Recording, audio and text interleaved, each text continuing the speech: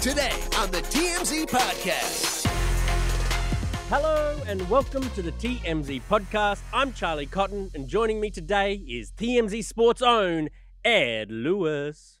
What's up, Charlie? How are you, man? I'm great. I'm great. Thank you so much for having me, as always. Of course, well, you're joining us today because we're doing this thing where we're counting down five to one of big stories that happened in 2023. And we've got you on to discuss the biggest stories in sports this year. God, we got some big ones. Why, why don't you kick us off with the fifth biggest story? Yeah, Conor McGregor was accused of sexual assault, uh, uh, and while he's been accused of, of these kind of heinous acts prior, it was kind of the time and the date and the place of this that Yeah. made this one so unique and so story-worthy and so newsworthy. Uh, uh, you'll recall this one happened in, in one of the the game four of the 2023 NBA Finals. This featured the Heat and the Nuggets. It was in Miami, and we talked about this on the pod. Uh, in Miami, there is a nightclub inside of Miami's basketball stadium, which at the time, I remember we laughed about that. How is that possible? Pretty Uh, dope. uh, he allegedly meets a girl there. I, I think that's not even alleged at this point. It's on video. He meets a girl there, but uh, they allegedly go into a bathroom where she claims he sexually assaulted her. Uh, uh, the case went on for a long time. Uh, it ultimately ended up in no charges. Uh, the the D, the district attorney, the prosecutors said they, they didn't have enough evidence to to to find out if if he did or didn't do these these uh, alleged acts. Uh, Conor maintained the entire time that he was innocent, that they went in the bathroom and there was nothing uh, heinous that happened in there, uh, and that was it. But it was just a wild story. I mean, Mm. the, the story was so crazy that Conor McGregor is at this NBA Finals game, uh, and you remember that night he knocked out a mascot as well in the Oh, on the halftime. court, on the half- court, yeah. It was just a like this UFC fighter comes to an NBA Finals game, and all of a sudden he is the story, not the NBA Finals. Yeah. It was just a crazy, crazy night. Um, Well, he was lit. Like he was lit even in the middle when he punched the mascot. And then later on, you do see the video of him leading a girl into a bathroom and then the security standing in the way of the door. Now, what the woman claimed was that all the stuff went down behind closed doors and that the security guard there was preventing her from like it was almost imprisoned her in that bathroom and Conor McGregor got to have his way with her.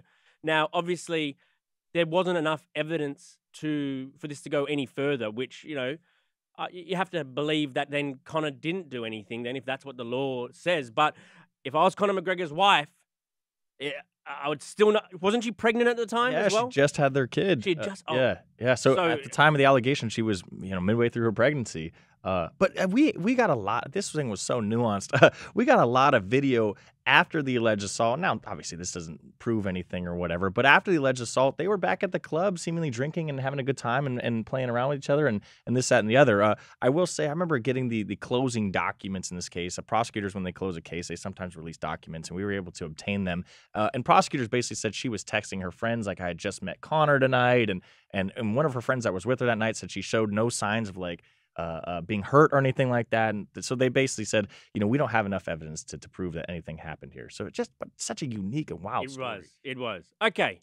On to the number four sports story of the year The Blind Side. Remember Blind Side, that movie? I do. That this was such a big story when Michael Oher, who is like the man who is covered in the blind side, this uh, football player who's kind of down in his luck, and a and a white family takes him in and helps him to go to college, and then helps him make the NFL. It, it- it's a beautiful story with Sandra Bullock. Um, but he came out this year and said that he didn't get compensated properly for they they, they depicted his life story, and now he wants to sue the family that took him in, the Oher family. Is it the Oher family or some It's other? Tuohy's family. The Tuohys. He's a Oher. Yeah. He's a Michael Oher. Yeah. So the Tuohys, he wants to sue the family that took him in, and supposedly, as part of the plot of this movie, helped him with his career. He's saying, "No, you guys actually stole from me." And not only that, he claimed that they never adopted him in the first place. Uh, he claimed that they put him basically into conservatorship in order to take advantage of him uh, uh, in this uh, setting, uh, where they basically were able to to negotiate deals on his behalf when it comes to the Blind Side or the book, you know, that, that came before the movie The Blind Side. Uh, and then they kind of screwed him out of the money uh, uh, afterwards. Uh, now the Tuohys have been adamant that they did not screw him out of anything. They they they they're adamant that they still consider him a son. Uh, uh, Mhm. They said that the conservatorship was basically the only way that they could get him into college uh, uh, because they were boosters at the time uh, uh, at Ole Miss. Uh, it's, it's a lengthy story, but they were boosters at the time at Ole Miss, and the NCAA had rules at the time governing like, well, if you're a booster, you can't like lead a kid to the school, so they had to put him in conservatorship uh, in order to kind of help him get there, uh, and that's what they're claiming. But uh, he has said from this is kind of the final straw here, but he has said from the get go that this whole blindside thing has been a lie. I remember he was saying uh, when the movie came out, he didn't really like it because it depicted him as dumb or never having a bed before. And he, he says that's not exactly the case. And now he's saying that, look, the Tuohys never even adopted me in the first place. So Right. uh, kind of bombshell allegations, you know, that that this movie that we all loved. I mean, I love that movie. That was one of my favorite movies, and I know it's as as sports people, uh, it's one of the best sports movies of all time. Is now Michael Oher saying none of it is true. Right. I mean, the Tuohys claim that this was just all like a shakedown attempt. That Right. you know he got paid. You know, a, a- he got paid a a hundred and thirty-eight thousand dollars at the time, which yeah isn't that much if they're depicting your life story. But that this was the deal. This was the contract Exactly. they signed. He signed, and th- th- you, you can't go back on it now. Um, I think that that is such a good movie, The Blind Side, and every it's so close to everyone's hearts. They should do a Blind Side two now about everything that's happened since. Wouldn't that be like now it's a drama? It's it's come from like a sweet story to like now it's like conflict and Sad. drama. But but how do you end the movie? Know. like, oh, by the way, everybody hates each other now. We're moving on. You know, like No, that's for the directors to figure out.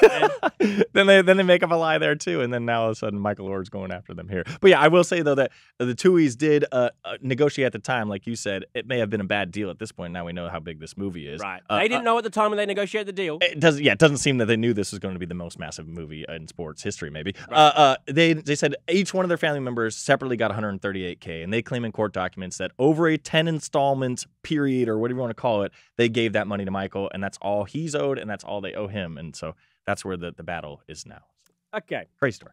On to our number three story, which surprisingly happened in 2023. It feels like it happened ages ago. You want to read it out? Uh, Damar Hamlin suffering cardiac arrest. I That mean, was this year. I, I can't believe that either. It feels like seven years ago. Uh, but yeah, January 2nd, Monday Night Football, one of the biggest games of that year. I mean, everybody, and not to minimize this, but everybody's fantasy football season relied on this game, let alone like the, the, the, the Bengals and the, and the Bills' is uh, Season. real seasons. Like this was such a monstrous game, and very very early in the, in in the game, uh, I think it might have been the first quarter. Damar Hamlin went to go tackle Tee Higgins, got hit right in the sternum, and it stopped his heart. Uh, uh, he basically died on the football field.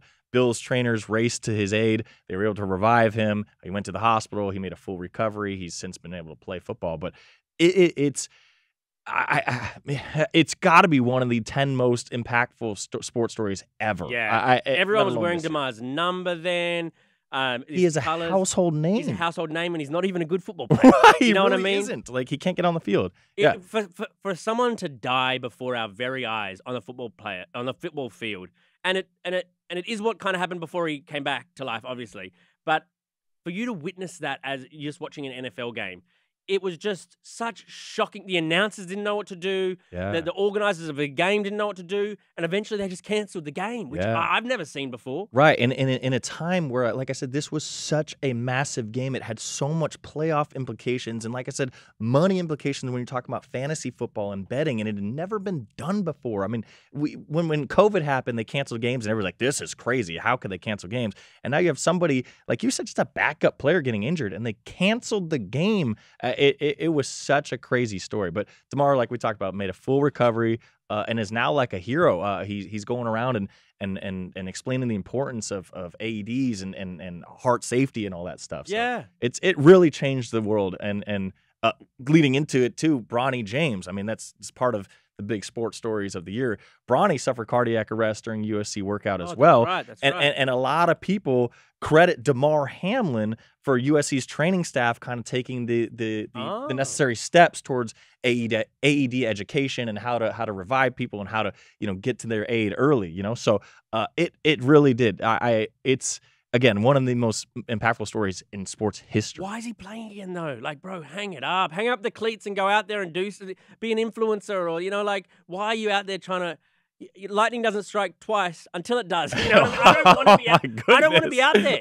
I don't want to be out there. I, I, I don't. I wouldn't be at work doing the podcast if I had had a cardiac I- arrest, yeah. let alone playing. Yeah, it's it's it's a very scary thing. I mean, I will say Damar is young; he, he's in his twenties, so he doesn't know any better. I mean, we're in our thirties, you know. It's life. We're wise, yeah, man. I'm a little bit like, okay, I'm not going to do things that could kill me twice. You Right. Know? So, right. uh, but yeah, I mean, it's his passion, and uh, who knows how much longer he has left to play. And that's always the thing about NFL players; it's a very short lifespan in Sure. the NFL. So it's you know, let me get all I can, and then you know, in year two, three, I'll, I'll be this celebrity. You know? Okay.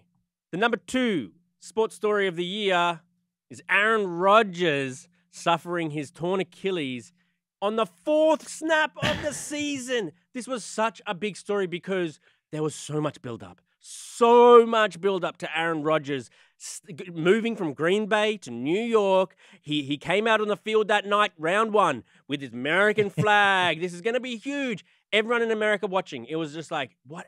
This team is going to win the Super Bowl, maybe. Get, play four, tears Yeah. his Achilles, out for the year. Jets suck. Eh, Like you said, I mean, this didn't just start on September 11th when he tore his Achilles. I mean, this ha- this has been almost September years. 11. Yeah, September 11th. This oh, this New Yorkers were already having a bad day, and now it's, oh no. Uh, This has been years in the making. He has been beefing with the Green Bay Packers for so long, or he had been beefing with the Green Mhm. Bay Packers, his former team, for so long. And every single year is, are they going to trade him? Is he going to leave? Does he want out? He finally gets out. He hand picks New York. He says, I only want to play for the Jets. They send him there. He goes to Jets. He brings all of his homies. Everybody comes, coaches, players, uh, friends, boys, whatever. Everybody comes. And they are like, this guy is finally going to do it. We finally have a quarterback in New York. And four plays in, tears his Achilles. It's Uh, just a tragic comedy. You know what I mean? It's just like you gotta like that is so so unlucky. Jets. I, you'd hate to be him so much. I mean, there's still speculation that he'll play again this season potentially. Right. I don't know about that. and that's the other part of this story that's even crazier. So he tears his Achilles, but then for the next six to eight weeks, we're talking about is he coming back? How? How can you come back from a torn Achilles? It's that whole the whole saga of Aaron Rodgers, from the trade to the build up to the to the tear to now the comeback is just one of the craziest stories. Because love him or hate him, like you're interested in what he's doing, and he's a celebrity outside Right, of if football you're not now. football, right? Yeah. Like he he dates celebrities. He's he hosts Jeopardy sometimes. Like he's not just a football player anymore. And so like everyone's invested in him, rightly or wrongly, or they want him to succeed or want him to fail. But God, that was a I remember that night. That was a big night when he hurt his Achilles. Yeah, it's just crazy, and and we should say that they went on to just have the most horrific season. Like uh, his backup Zach Wilson played terribly. They got blown out in most of their games. oh no. You know, so it was like Oh, it ended up really poorly for the Jets. Okay, Ed, why don't you give us the number one sports story of the year? well, it's this one actually was very far away from a court. Britney Spears got slapped by Victor Wembanyama's security guard. If you don't know who Victor Wembanyama is, he's the San Antonio Spurs number one overall draft pick. Uh, not just that though, he is a phenom, uh, the the most touted prospect since LeBron James. Uh, seven foot four, handles the ball like a point guard, but obviously is built into a center's body. Uh, uh, he's just this How tall is he? He's like seven seven, four, yeah. Seven four. It just this Seven otherworldly human being and happens to be in Vegas at the Aria, uh, going to a restaurant inside. Britney Spears obviously knows him because he's a seven foot four phenom and the next LeBron James. She goes to tap him on the back to try to be like, hey, like, what's going on? And his security guard, obviously knowing that that my job is to protect Victor and he's the biggest star in the world right now and he's the biggest up and coming thing in the NBA, slaps her in the face.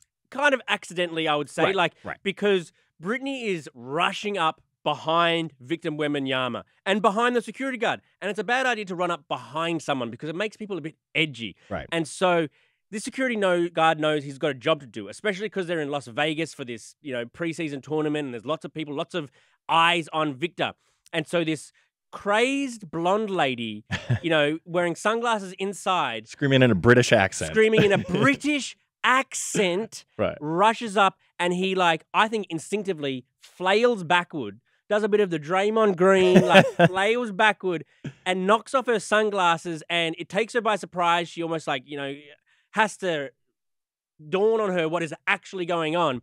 And she was upset after that. She was pissed, She's demanding an apology from Victor himself, even though he wasn't the one to do it.